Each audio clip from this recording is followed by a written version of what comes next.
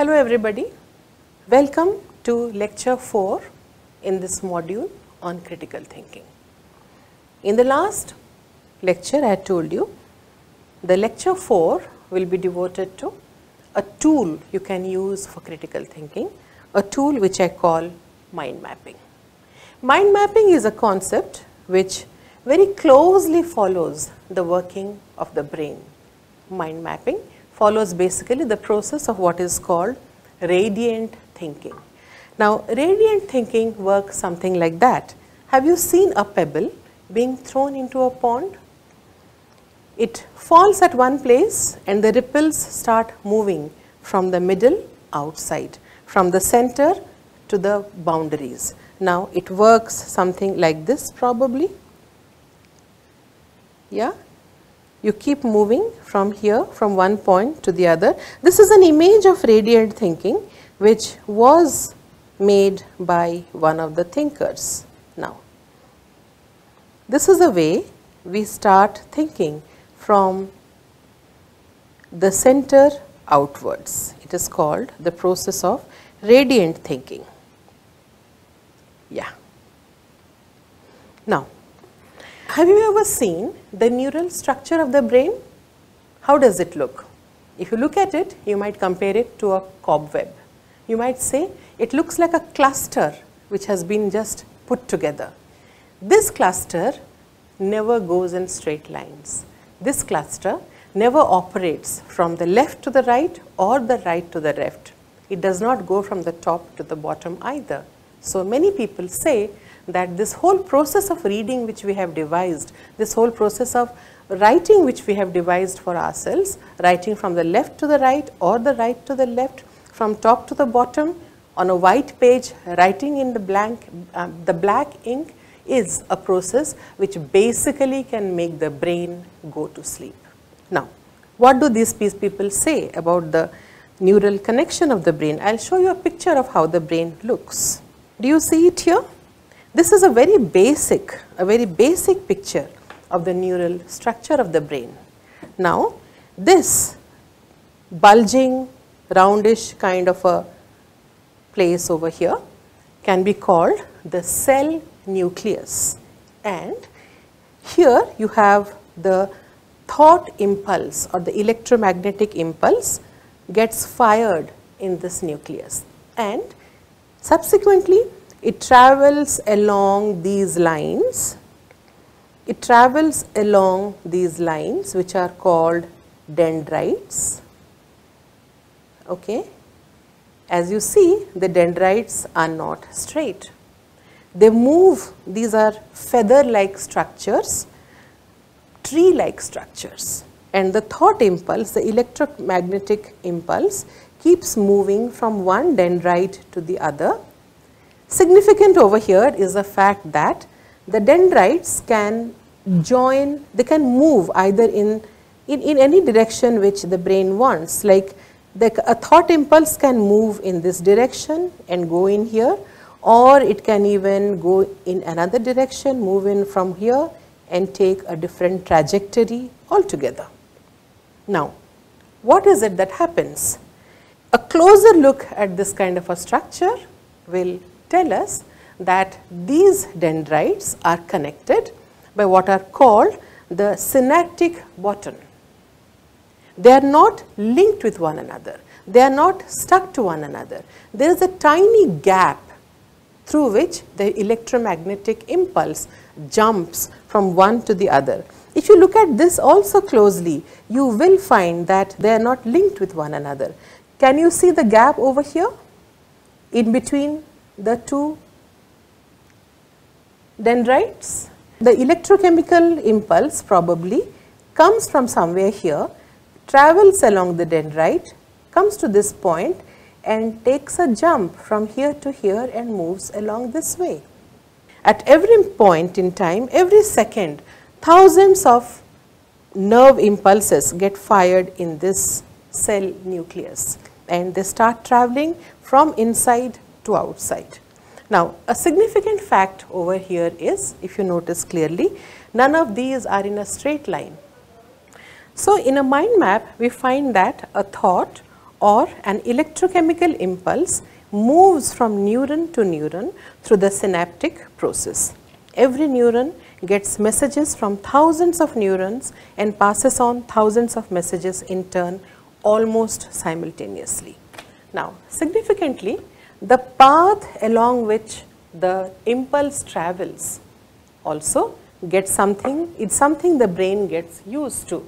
There is a resistance along every path. So, if you are thinking a thought very frequently, the path also gets cleared. So, automatically the thought keeps moving in a certain direction because the electromagnetic resistance along that path is the least.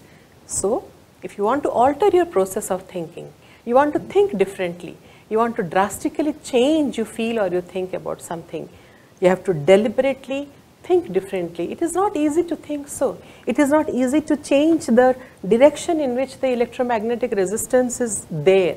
Not to, it, it's easy to flow in the direction where the electromagnetic resistance has already become less. But to think a new thought, one has to break the habit, one has to break the pattern, one has to create new kinds of electromagnetic paths which one can think about, which one can travel in. Mind mapping is a concept which was for the first time talked about by a psychologist and an educational consultant called Tony Buzan. According to him, a mind map is a brilliant way to organize thoughts and recall and analyze information creatively. He says a mind map can basically be used as a graphic technique, a wonderful graphic technique of representing ideas on any topic. It can be used to gather existing ideas, it can be used to connect existing ideas, it can be used to understand complicated systems, and finally, it can be used to create new ideas. Now, we will very briefly see why it becomes such a convenient process, such a convenient method of working. First of all, it works along with the brain. It works the way the brain works. It works in lines which are not straight. It works through colors. It works, moves in a way which moves, which allows us to move from association to association. Now, association making is another very important factor, another very important principle which operates in the functioning of the brain. And a mind map allows us to make associations freely and not have to structure it at every point. Now, a mind map is like following the brain's usual normal way of functioning, natural way of functioning because it imitates the process of radiant thinking. It moves from center outside it moves through the process of, it works through the process of association making. It works better through images, through pictures. Have you heard the saying? A picture is worth a thousand words. The moment you show a picture, you are crystallizing, channelizing, bringing in a lot more than just words can do. And a mind map allows us to think through pictures, peg the thoughts to pictures and see where it can move from that point. And this enables us to make connection, make relations, make associations, which can become very important for generating insights while making a mind map or while thinking a new thought. Now again finally a mind map moves along lines that the brain is used to make associations. It generally follows the path of least electromagnetic resistance. This is what we have been talking about but for innovative thinking, for what is called lateral thinking, one has to break this path of least electromagnetic resistance and move on to new ways of thinking and functioning. Now, can we do a mind map today? Let us see how we can do it. The best way to do it is start with a main idea. I will be moving from one slide to the other from here. Probably I will draw it for you over here. Uh, but before we draw it, I would request you all to go to this link and listen to the talk of the talk is available on YouTube, a talk by Tony Buzan on how a mind map can be done and how it can be interestingly done. I will be drawing a lot from his talk and I'll briefly be trying to see how we can create a mind map on paper. Now, to make a mind map, the most important thing is have a, play, a piece of paper, a piece of plain paper placed not in the portrait manner, not in the portrait pattern, but the landscape pattern. We need space to move laterally. So, put the image in the middle, put a picture, put the basic idea you have in the form of a picture and from inside always move outside. It is better if you can make the lines thicker and then thinner, thicker and then thinner. I am not able to do that correctly over here. See how the brain, how the lines can move from inside, move outside and then create your sub points. This is very important if you are trying to make the main points and the important points the most rudimentary thing in a reading passage. You have the main idea of the reading passage in the center. Even as you are reading, you start putting the main, the main points along these lines. And even, even as you come across the sub points, you start putting the sub points along these lines over here like this. Tony Buzan will tell you it is very important for you to put one thought along every line. Every line should be pegged to one thought only because that thought will help you branch out into many other thoughts.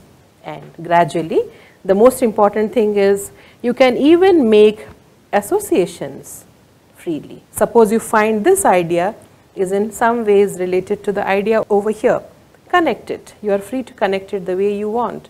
Connect this idea with this idea. Probably you have one more nucleus over here and from where again you can move out in branches and sub branches, creating new thoughts, creating new associations, creating new images probably. Look at this now. Start with the main idea, create images wherever possible, branch out to sub ideas. The ideas here move from the center to the fringes. That is what we have done, remember? We kept moving from the center to the fringes. Here, every idea leads to a spray of associations, we have seen that also, and each of this again becomes a source of another spray of associated ideas.